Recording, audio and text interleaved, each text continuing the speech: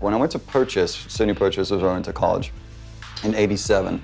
My freshman year, at some point, I was, I don't, I, I don't remember being given it. I was, it just showed up.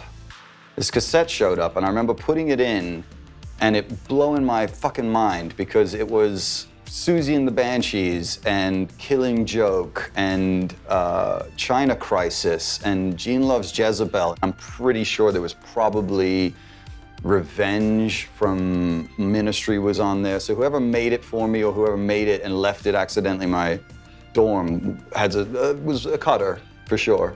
Um, so that introduced me to like a whole other fucking darker edge.